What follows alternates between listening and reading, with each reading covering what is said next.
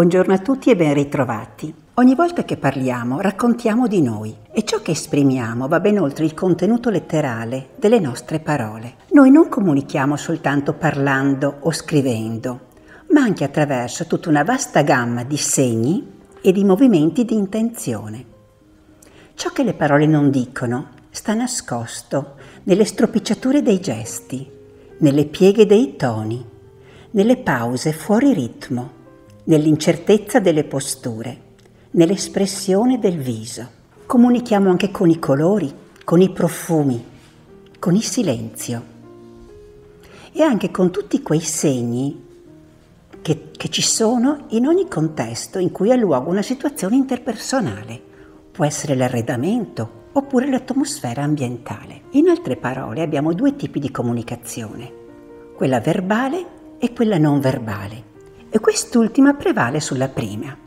Infatti è molto difficile che gli altri possano credere a quello che diciamo se il nostro comportamento non è coerente con le nostre parole. Lo psicologo americano di origine armene, Albert Merabian, ha fatto degli studi, per i quali peraltro è diventato famoso, sui comportamenti non verbali nella comunicazione face to face faccia a faccia. Questi studi parlano dell'efficacia delle varie componenti della comunicazione che si possono così riassumere. La componente verbale, cioè paro- le parole e il contenuto, ha un'efficacia del 7%. La componente paraverbale, toni, volume, ritmo della voce, ha un'efficacia del 38%. La componente non verbale, ossia i gesti, i movimenti, la postura, il look, l'espressione del volto, il contatto visivo e anche la gestione stress calma ha un'efficacia del 55%.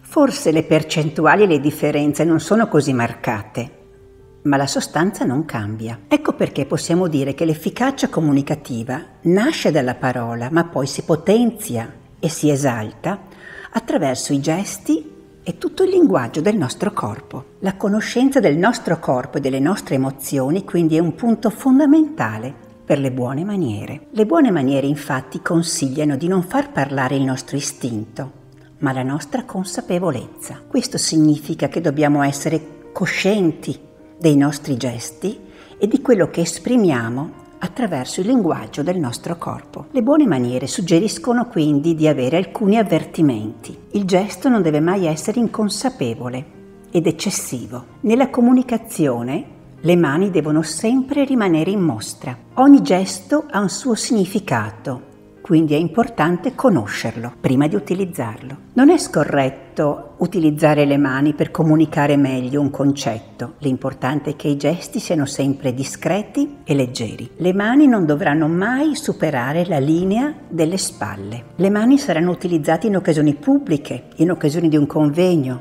ma mai in situazioni di famiglia, intime. Quindi se siamo in un ambiente familiare piccolo, limitiamo al massimo la gestualità. Non si gesticola mai a tavola e soprattutto mai con le posate. Il corpo non deve mai avere atteggiamenti che si ripetono nel tempo.